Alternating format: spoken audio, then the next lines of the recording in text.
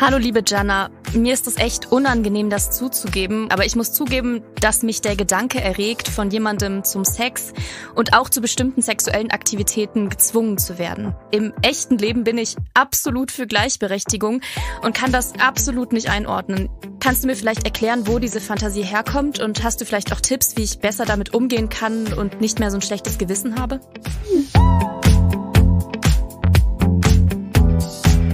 Hallo ihr Lieben, herzlich willkommen zu einer neuen Folge Hot Stuff. Ich bin Jonna Baccio, Sexualpädagogin und Autorin und ich kläre seit über 13 Jahren über das Thema Sex auf. Und heute geht es um ein Thema, bei dem es leider noch ganz, ganz, ganz viel Scham gibt. Das habe ich ganz deutlich bei euren vielen Fragen gemerkt. Es geht nämlich um sexuelle Fantasien. Ja, ich habe gemerkt, dass die ganz vielen peinlich und unangenehm sind und das ist auch etwas, über das nicht so häufig gesprochen wird. Sexuelle Fantasien bleiben daher oft ein schmutziges Geheimnis, in Anführungsstrichen natürlich. Ich hoffe, dass das nach der Folge heute ein bisschen anders aussieht, aber ihr werdet merken, ihr seid nicht komisch oder kaputt. Sexuelle Fantasien, auch die, die scheinbar komplett verrückt sind, sind vollkommen normal. Also das schon einmal als Message vorweg. Sonst geht es heute viel um die Fragen, wie entstehen Fantasien? Was sagen sie über uns aus? Und wie kann es sein, dass manchmal Fantasie und Sexualität in der echten Welt so weit auseinander liegen? Also, lasst uns direkt loslegen. Und ihr kennt das Spiel. Starten wir also mit dem bekanntesten Sexmythos zu dem Thema. Unsere Fantasien sagen aus, was wir wirklich tief in unserem Herzen wollen. Und hier kann ich schon mal direkt ganz klar sagen, jein. Sorry, es ist tatsächlich nicht eindeutig. Ich werde heute noch häufiger aus der Studie von 2018 Tell Me What You Want zitieren. Die ist nämlich von Justin Liemiller, der ist amerikanischer Sozialpsychologe und Autor und er hat über 4000 Personen zu ihren sexuellen Fantasien befragt und alle seine Ergebnisse in einem Buch festgehalten. Damit ist das wirklich die größte Studie zu sexuellen Fantasien, die je gemacht wurde. Er sagt, dass man zwischen sexuellen Fantasien und sexuellem Verlangen unterscheiden muss. Verlangen bedeutet, dass man das auch wirklich tun will und Fantasie ist in dem Falle nur in Anführungsstrichen in die Gedanken. Er sagt, dass tatsächlich 80 Prozent der Fantasien der Menschen in seiner Studie auch Wünsche waren. Zumindest ist es das, was die Leute angegeben haben. Spannend ist nur, dass es die allerwenigsten bisher getan hatten. Das war nicht einmal jede fünfte Person. Das heißt, sexuelle Fantasien bleiben sehr oft nur Fantasien. Der Grund ist oft, dass man Angst hat, man könne verurteilt werden oder auch, dass man gar nicht weiß, wie man das anstellen soll. Ich meine, wenn die Fantasie zum Beispiel ist, Sex mit vielen Menschen zu haben, dann ist das alleine schon organisatorisch schwierig. Als sexuelle Fantasie zählt erst einmal jeder Gedanke und jede Vorstellung, die wir im wachen Zustand haben und die uns erregt. Vielleicht gibt es auch direkt eine körperliche Reaktion, das heißt, der Penis wird steif oder ihr merkt ein Ziehen und ein Feuchtwerden in der Vagina. Und warum sage ich wacher Zustand? Weil sexuelle Fantasien anders sind als Sexträume, welche unbewusster stattfinden und weniger steuerbar sind. Wenn ihr wollt, dann kann ich auch darüber mal sprechen. Schreibt mir doch einfach mal, ob euch das Thema Sexträume auch interessieren würde. Aber auch wenn sexuelle Fantasien nur bedingt anzeigen, ob wir das Gedachte wirklich erleben wollen, sind sie wichtig und aussagekräftig. Ich bin ja nach dem Ansatz sexokorporell ausgebildet worden und danach ist deine gelebte Sexualität eine logische Konsequenz dessen, was du bisher theoretisch und praktisch gelernt hast. Ich sage das nochmal, weil es vielleicht ein bisschen komplex ist. Deine gelebte Sexualität ist eine logische Konsequenz von dem, was du bisher theoretisch und praktisch gelernt hast. Ja, und auch deine sexuellen Fantasien. Also die werden nach sexokorporell der Ebene des Erlebens zugeordnet. Also nicht die Ebene des Denkens oder die Ebene des Körpers, sondern die Ebene des Erlebens. Also die spiegeln unsere individuelle Entwicklungsgeschichte in Bezug auf Sex wieder. Unsere Vorstellungen, Bilder, die wir im Kopf haben, Erinnerungen, aber auch unsere Erregungsmodi, also wie wir uns selber erregen, unsere Beziehungsfähigkeit, Träume und so weiter. Letztendlich könnte man auch sagen, dass sie sowas sind wie der imaginäre Raum zwischen Vergangenheit und Zukunft. Mit sexuellen Fantasien oder generell mit Fantasien lassen sich Interaktionen durchspielen, einüben im Kopf oder einfach auch dem Alltag entfliehen. Fantasien helfen uns ja bei der Erregung. Das kennt ihr wahrscheinlich auch, ne? Und Erregung ist ja das, was auf körperlicher Seite passiert. Also der Penis wird steif oder die Vagina wird feucht. Ich spreche übrigens absichtlich niemals von einem sexuellen Trieb, weil diese Theorie von Freud als überholt gilt heutzutage.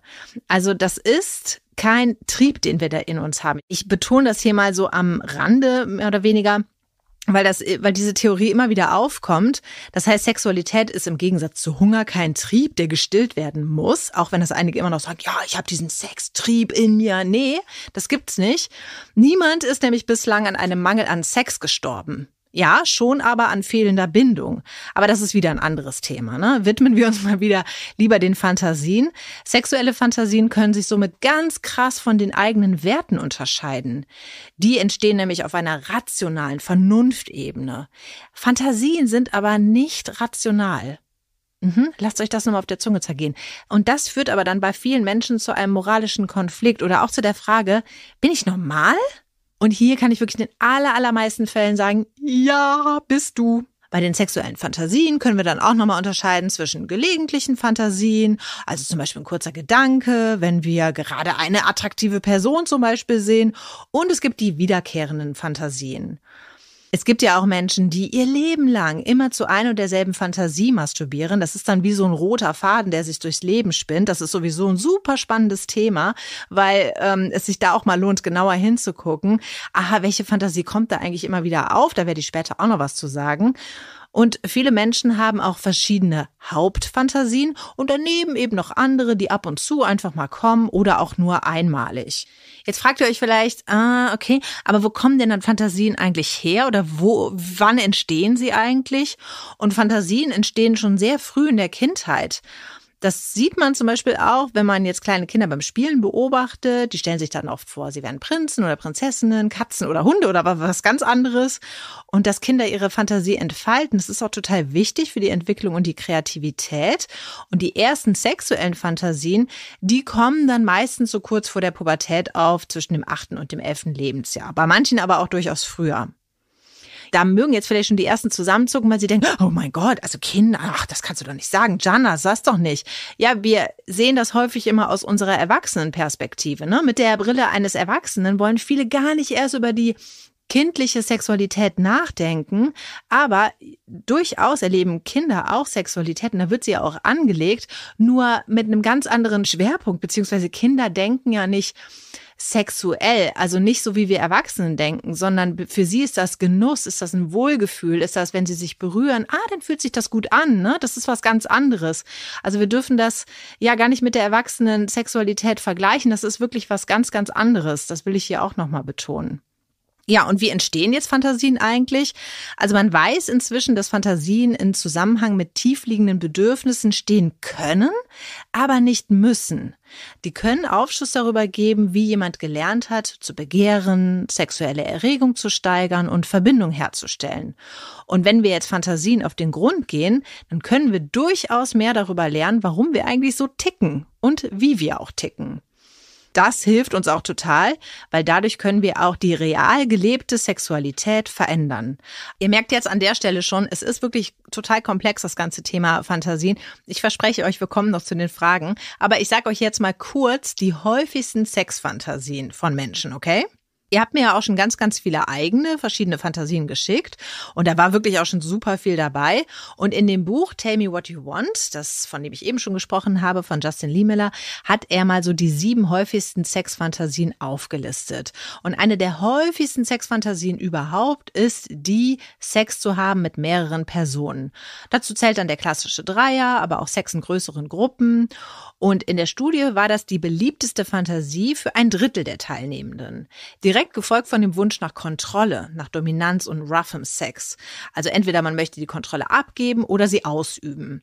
Das heißt, das, was man eigentlich eher aus dem BDSM-Bereich kennt, das ist eine der bekanntesten Sexfantasien und dafür spricht natürlich auch der große Erfolg von Fifty Shades of Grey.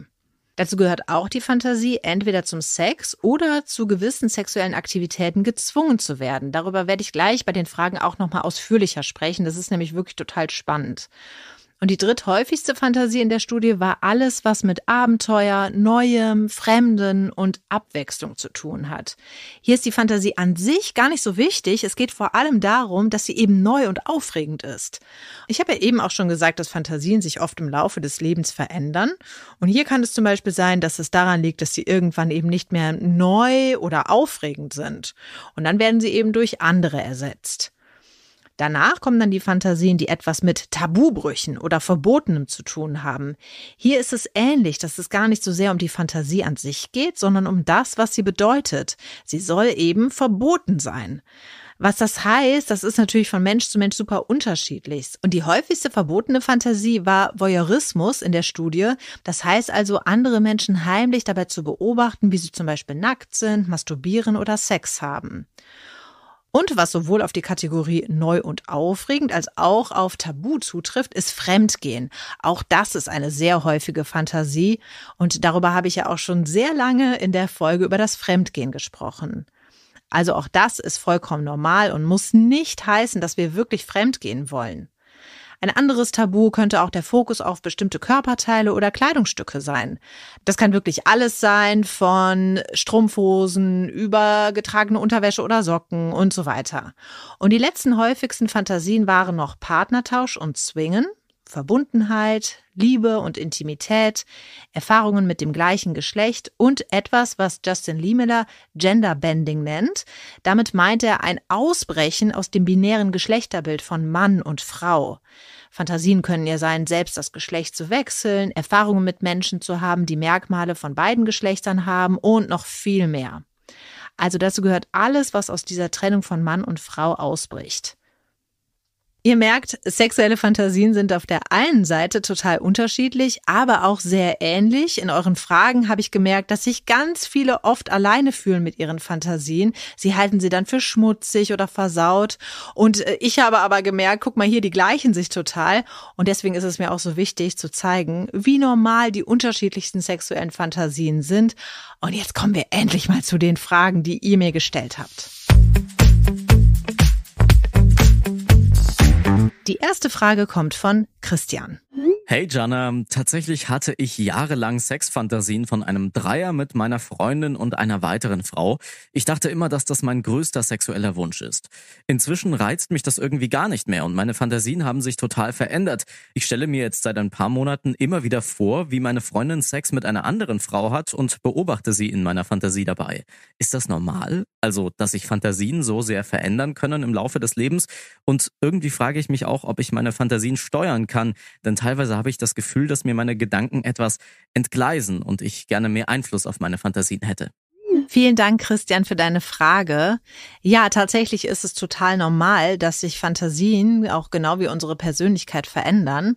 Deswegen finde ich persönlich es ja immer am schlimmsten, wenn mir Leute zum Geburtstag wünschen, ich solle bitte, bitte so bleiben, wie ich bin. Ich weiß natürlich, dass sie es nur gut meinen, aber ich denke mir dann immer so, oh nein, gewiss nicht. Oder ich hoffe nicht. Ich will mich nämlich verändern. Aber jetzt zu dir, Christian.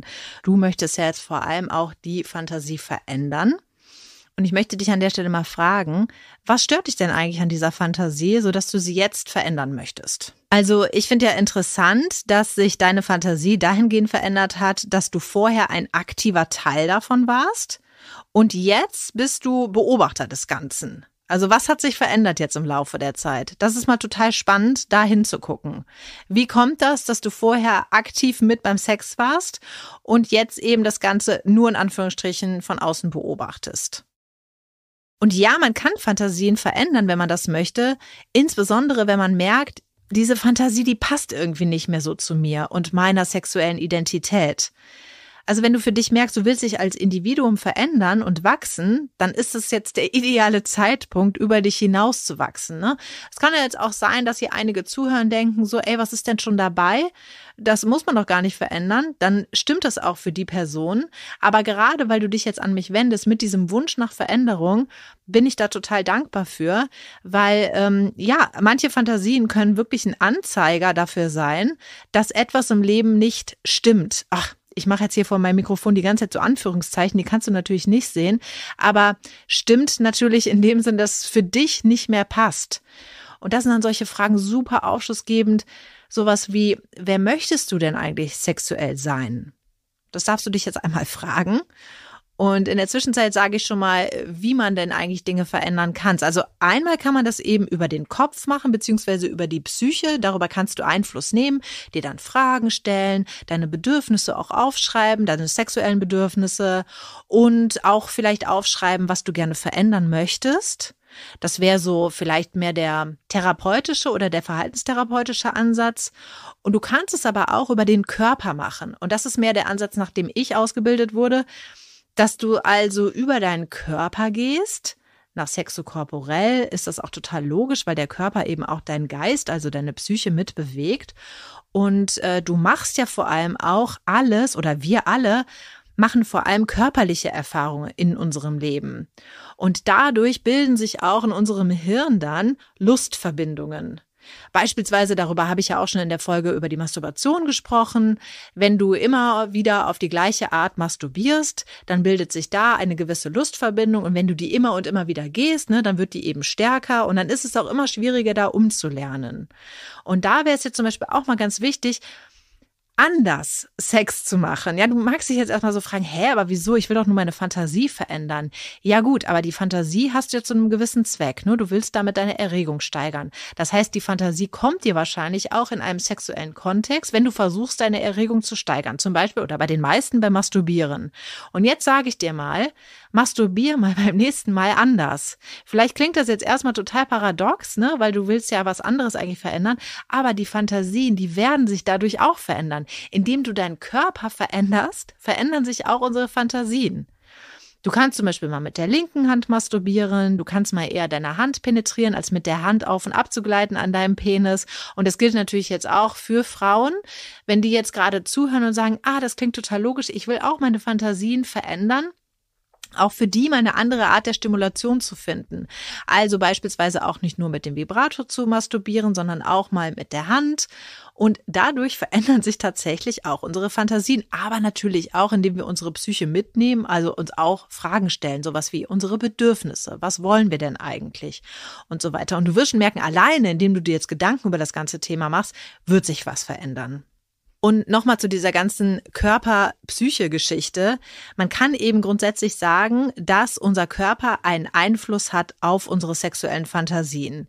Wenn du deine sexuelle Erregung vor allem über eine hohe Muskelspannung hast und sich dein Körper dann auch eher versteifst, dann entstehen andere Fantasien, als wenn du dich zum Beispiel viel bewegst. Macht das Sinn? Also zum Beispiel bei hohem Muskeldruck entstehen auch eher härtere Fantasien. In einem unbewegten Körper entstehen eher Gedanken, ausgeliefert zu sein, zum Beispiel, als wenn sich der Körper zum Beispiel aktiv bewegt. Ich finde das super spannend, dieses ganze Thema, und könnte jetzt noch Stunden darüber erzählen. Aber ähm, das nur mal für euch. Das heißt, wenn ihr jetzt wirklich auch merkt, ihr liegt bei der Masturbation oder auch beim Sex eher passiv da, steif vielleicht auch eher, bewegt euch eher weniger, ist euer Genuss, ist auch eine Fantasie eher beschränkt. Wenn du deinen Körper also während der sexuellen Erregung bewegst, dann kommen eher Vorstellungen oder Bilder davon, dass du etwas aktiv machst. Also insbesondere jetzt Menschen, auch die zuhören und die zum Beispiel eher nicht so eine ausgelieferte Situation in der Fantasie haben wollen. Aha, die die bräuchten dann eigentlich bei der Masturbation beim Sex auch eher die aktive Position. Wenn du still bist, dann ist es eher so, dass in der Fantasie etwas mit dir passiert, okay? Und das passt ja jetzt auch zu dir, was du geschildert hast. Vorher warst du aktiv dabei, inzwischen bist du der Zuschauer dabei und du beobachtest etwas, was außerhalb deines Körpers passiert.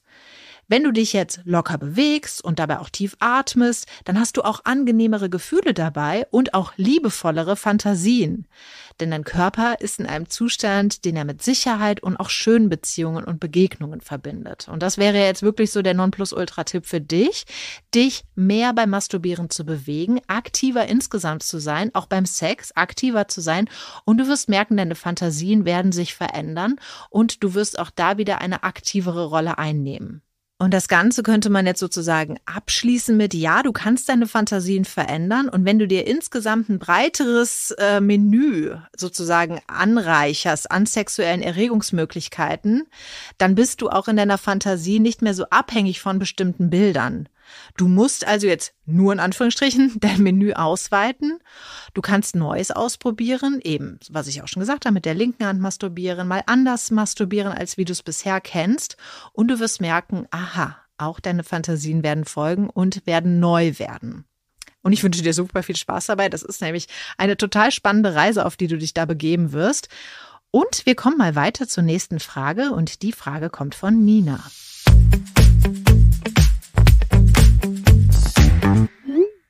Hallo liebe Jana, mir ist es echt unangenehm, das zuzugeben und ich habe das auch noch niemandem so offen erzählt. Aber ich muss zugeben, dass mich der Gedanke erregt, von jemandem zum Sex und auch zu bestimmten sexuellen Aktivitäten gezwungen zu werden. Ich kann dir gar nicht sagen, was es ist, aber das tönt mich total an. Oft suche ich mir auch extra erotische Geschichten, in denen es um diese Fantasie geht. Da muss ich auch zugeben, dass ich auf die krassesten und explizitesten Geschichten am meisten reagiere. Im echten Leben bin ich absolut für Gleichberechtigung und kann das absolut nicht einordnen. Ich fühle mich auch oft total schlecht deswegen, weil ich auch weiß, dass das im echten Leben ja total schlimm ist. Ich würde das in echt ja auch nie wollen. Kannst du mir vielleicht erklären, wo diese Fantasie herkommt und hast du vielleicht auch Tipps, wie ich besser damit umgehen kann und nicht mehr so ein schlechtes Gewissen habe? Vielen, vielen Dank für deine Frage. Ich glaube, dass du jetzt auch gerade ganz vielen Frauen aus der Seele sprichst, die ähnliche Fantasien haben und die die aber auch irgendwie mit Scham oder auch Schuld verbinden. Und das muss ja gar nicht sein. Ich kann wirklich an der Stelle nochmal betonen, also Fantasien sind nicht die Realität. Das ist etwas, was in deinem Kopf passiert und Fantasien sind auch nicht rational. Okay. In sexuellen Fantasien kommen relativ häufig Themen vor, von denen man sich im richtigen Leben distanziert und auch nicht identifiziert. Deswegen ist es auch total wichtig zu unterscheiden zwischen sexuellen Fantasien und deinen Bedürfnissen als Mensch in dieser Welt. Es gibt viele Menschen, die verspüren bei Dingen sexuelle Erregung, die sie wirklich verstören oder auch befremden oder die ihnen peinlich sind oder von denen sie sich eigentlich klar distanzieren. Das hast du ja auch nochmal so betont, ne? Du stehst für Gleichberechtigung und so und dann kommen wir in so einen inneren Konflikt. Da geht's dir und auch mir geht's da auch so. Ich kenne auch solche Fantasien, wo ich denke, hä, warte mal, ich bin doch jetzt eigentlich eine total aufgeklärte, emanzipierte Frau. Wie kann das denn jetzt eigentlich sein? Aber Sexuelle Erregung ist eben auch nicht rational und die folgt nicht irgendeinem Muster, was wir für moralisch äh, konform halten, sondern die tritt vor allem dann auf, wenn wir etwas sehen, was uns stark emotional bewegt. Also zum Beispiel zum Sex gezwungen zu werden. Das ist natürlich von niemandem von uns ein expliziter Wunsch oder ein Bedürfnis. Davon distanzieren wir uns im realen Leben. Es sei denn natürlich, das Ganze passiert im Rahmen eines BDSM-Spiels ne, und ist explizit so abgesprochen, es gibt Konsens und ein Safe Word und so weiter. Aber in der Fantasie, da denken wir uns so, hey krass, das ist doch gar nichts, was ich in der Realität erleben möchte. Und trotzdem kann diese Fantasie dann Erregung auslösen, weil es zum Beispiel auch Bestätigung bedeutet. Ah, da ist eine Person, die findet mich so begehrenswert, dass sie nicht an sich halten kann und mich mit ihrer Lust überwältigt. Das finden viele so geil. Unsere Fantasie spielt dann auch mit Tabus, mit Verbotenem und unserem Gehirn ist es ja wirklich komplett egal, ob das gesellschaftlich akzeptiert ist. Da geht's um Abgeben auch von Kontrolle. Und das sind dann vor allem auch Menschen, die vielleicht in ihrem Alltag viel auch die Kontrolle halten müssen, viel auch die Verantwortung tragen müssen. Und dann ist diese Fantasie auch total reizvoll. Aha, da ist jemand, der nimmt mir diese Entscheidung und auch die Kontrolle ab. Das wird von einer anderen Person übernommen und ich konnte mich ja gar nicht wehren. Und das tut dann auch mal total gut. Wie gesagt, in der Fantasie, ne? Und vor allem auch wenn wir viel mit Scham und Schuld aufgewachsen sind, dann sind das auch Fantasien, die umso mehr einen Reiz auf uns ausüben. Ne? Da so etwas Verbotenes zu tun oder dass da so etwas Verbotenes mit uns getan wird. In einer Fantasie, in der eine andere Person einfach mit uns macht, was sie will, das ist natürlich in der Fantasie super reizvoll. Ich muss mich nicht entscheiden und ich kann bzw. ich brauche gar nichts zu tun. Und ich hatte es gerade auch schon gesagt, also nicht selten ist diese Sehnsucht nach Macht oder auch nach Unterwerfung etwas, was wir auch aus unserem Alltag kennen. Vielleicht musst du ja auch in deinem Leben schwere Entscheidungen treffen. Du trägst vielleicht ständig große Verantwortung und bist am Ende die, die Entscheidungen trifft. Ja, dann ist es kein Wunder, dass du dich auch mal danach sehnst, die Kontrolle endlich abgeben zu können und das anderen zu überlassen. Andersrum funktioniert das Prinzip natürlich genauso. Vielleicht bist du auch die oder derjenige im Alltag, der sich immer anpasst, über den andere bestimmen. Und in deinen erotischen Fantasien willst du aber auch jetzt mal jemand sein, der oder die andere dominiert. Und es kann ja tatsächlich auch sein, dass du da jetzt auch deinen Reiz dran findest und diese Fantasie tatsächlich umsetzen möchtest in der Realität, also vielleicht auch jemanden zu dominieren. Und da ist natürlich dann immer die Frage, hast du da auch jemanden, mit dem du so ein Spiel ausleben darfst? Dann geht es natürlich auch wieder um Konsens, ähm, darüber auch zu kommunizieren und dann kannst du so eine Fantasie auch ausleben. Übrigens in der Studie von Justin Liemiller, da ist diese Fantasie von erzwungenem Sex eine der häufigsten Fantasien überhaupt und wesentlich mehr Frauen haben diese Fantasie als Männer. Ich lehne ehrlich gesagt dieses Wort Vergewaltigungsfantasie auch ab genauso wie Justin Liemiller auch. Und er begründet es damit, dass es in der Wirklichkeit ja gar nicht darum geht, eine echte Vergewaltigung zu erleben. Das heißt, wenn Frauen sich vorstellen, zum Sex gezwungen zu werden, dann sind sie ja trotzdem noch selbst die Regisseurinnen ihrer Fantasie. Also sie sind ja eigentlich noch in der Machtposition. In Wirklichkeit tut natürlich in meiner Fantasie die andere Person genau das, was ich will. Also ich habe die Macht, okay? Und deswegen ist so dieses Vergewaltigungsfantasien gar nicht so der richtige Ausdruck dafür. Ich kann zwar einerseits diese schlechte Gewissen, was du da auch hast mit dieser Fantasie, total nachvollziehen und kenne das auch selbst. Andererseits muss ich mir auch immer wieder bewusst machen, ah, geil, in meiner Fantasie habe ich trotzdem noch die Macht und da können alle Gedanken kommen und kommen sie mir noch so abstrus vor. Ich habe die Macht darüber und es heißt eben zu keiner Zeit, dass ich diese Fantasie auch in der Realität erleben möchte. Also Nina, ich hoffe, dass ich dir damit ein bisschen besser aufzeigen konnte, woher diese Fantasien womöglich kommen. Ehrlich gesagt kann man nie ganz genau sagen, aha, du hast also das und das in deiner Vergangenheit erlebt und daraus resultieren jetzt heutzutage diese Fantasien. Das geht nicht.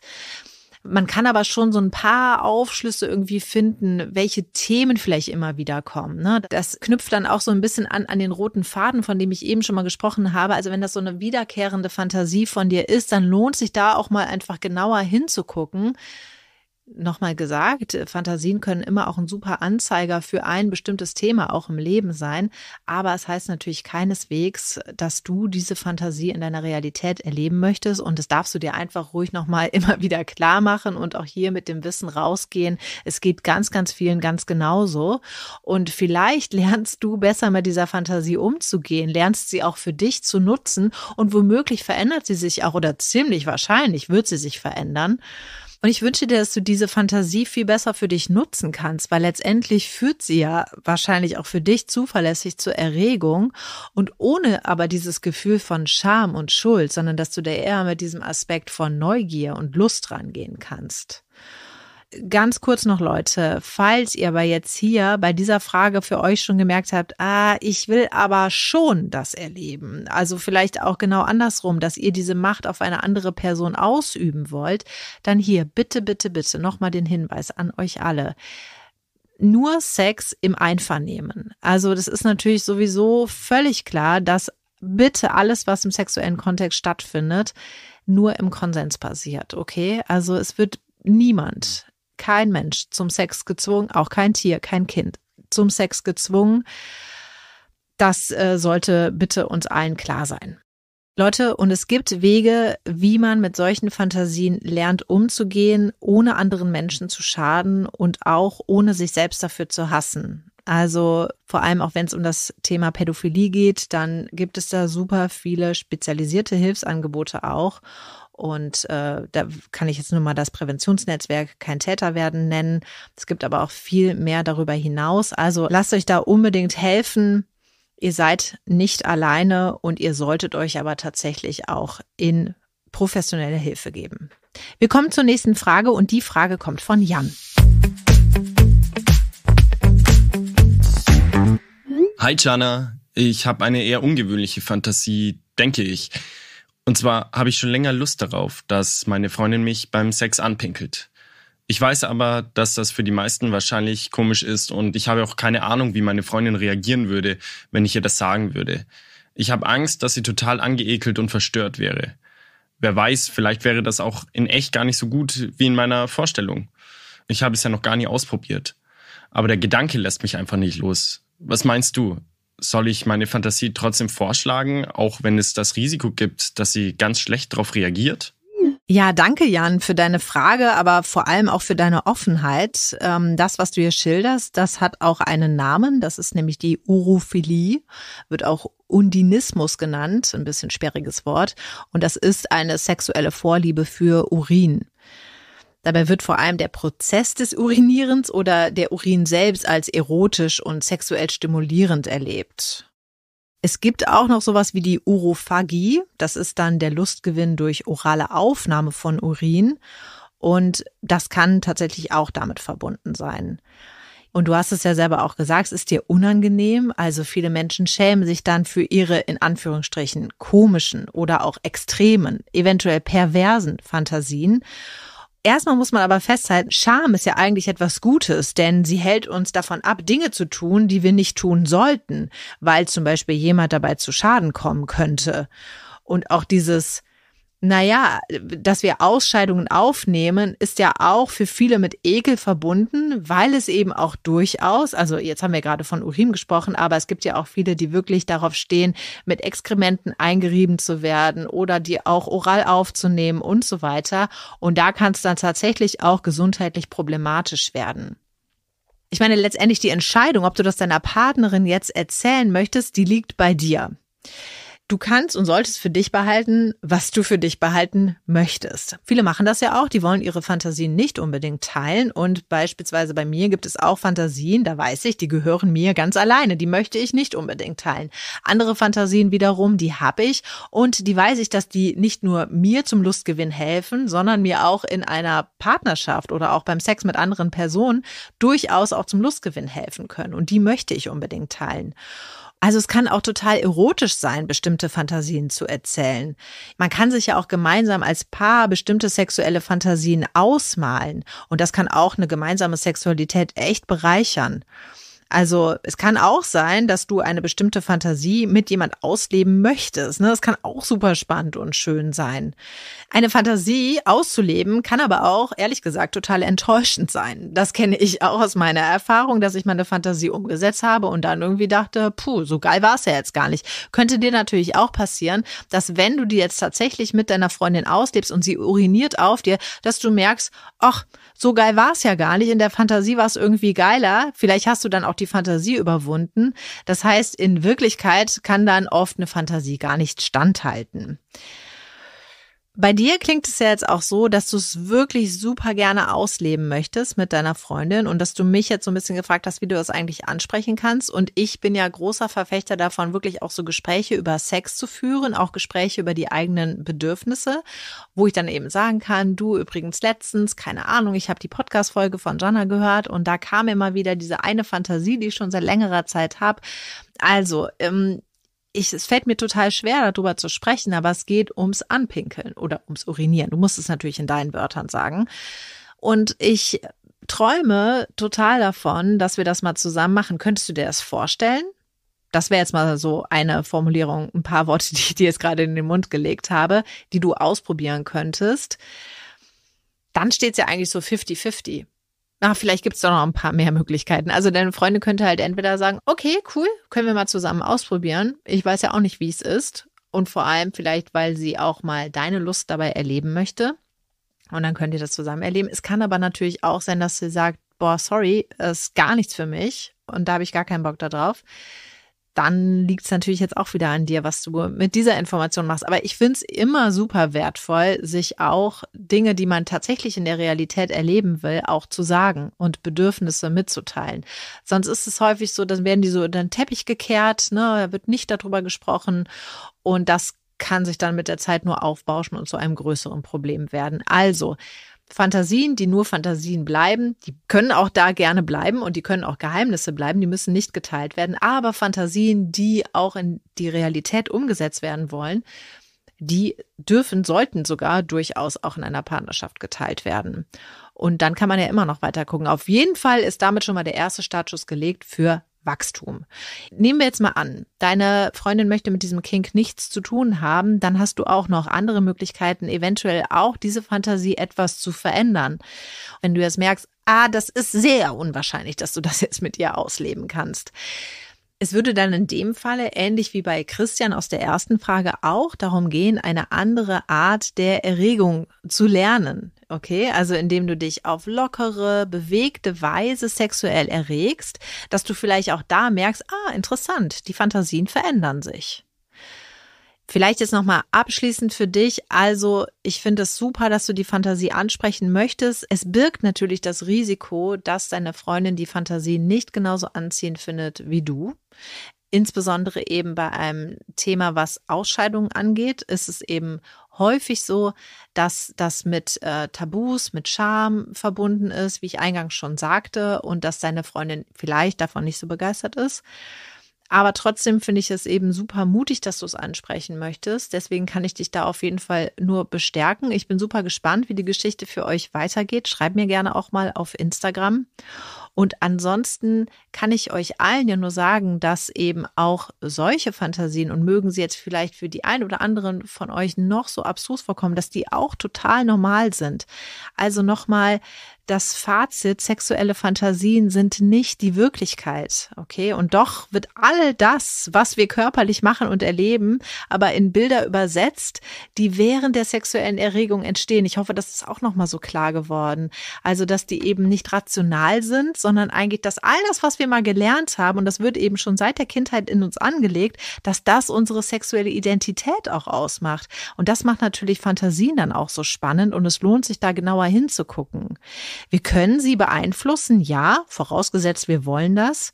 Und ein ganz interessantes Thema, und schreibt mir mal bitte, wenn ich da mehr drüber machen soll, ist das ganze Thema erotisches Kernthema, was ich hier immer mal wieder so angesprochen habe. Das meine ich mit dem roten Faden. Es wird auch Erotic Core Theme genannt. Und dieses ganze Konzept kommt von Jack Morin. Der hat auch ein ganzes Buch dazu geschrieben, erotische Intelligenz. Das würde aber jetzt wirklich hier den Rahmen der Folge sprengen. Aber wenn euch dieses ganze Thema mehr interessiert, so dieser rote Faden, der sich eigentlich so durch unser Leben spinnt und wo vielleicht immer wieder auch diese Fantasien herkommen zu bestimmten Themen, ja, dann äh, mache ich da gerne mehr dazu, weil ich finde, das ist eigentlich mit so eins der Haupt also da, da kann man so viel draus ziehen, man kann so viel erklären. Also ihr merkt, ähm, das ganze Thema sexuelle Fantasien, erotische Intelligenz und so sind stark miteinander verknüpft, sind super komplex und sind natürlich total spannend, da mal genauer hinzugucken.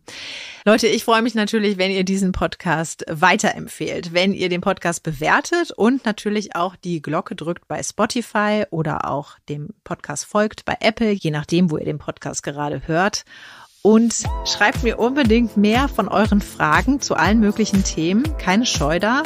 Wir können, wenn ihr Sprachnachrichten schickt, auch immer die Sprachnachrichten nachsprechen lassen. Ansonsten, ja, ich äh, freue mich wirklich über alles, was reinkommt. Ich lese wirklich jede einzelne Nachricht, höre mir jede einzelne Nachricht von euch an und bin ganz gespannt, was wieder als nächste Themen reinkommen. Bis dahin wünsche ich euch eine wunderschöne sexuelle Fantasienzeit und freue mich auf nächstes Mal. Bis dahin, tschüss, eure Jana.